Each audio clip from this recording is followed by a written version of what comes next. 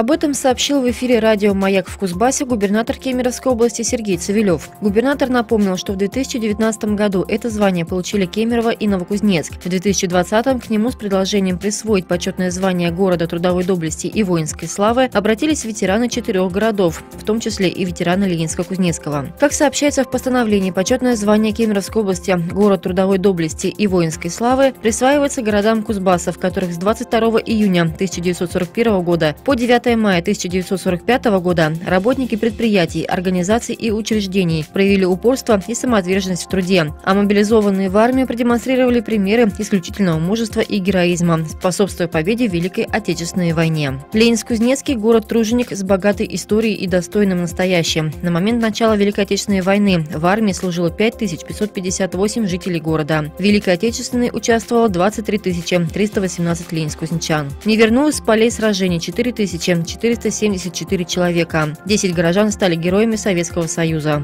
В годы Великой Отечественной войны на территории города работало 7 шахт. Было добыто 20 миллионов тонн угля. Каждая шестая тонна в Кузбассе в те годы была добыта из недр Кольчугинского рудника. И каждый восьмой железнодорожный вагон отправлен из Ленинска. В годы войны на территории города работали 11 эвакогоспиталей. Фельдшерская акушерская школа, аэроклуб, который выпустил более 500 летчиков. Город принял несколько эвакуированных предприятий.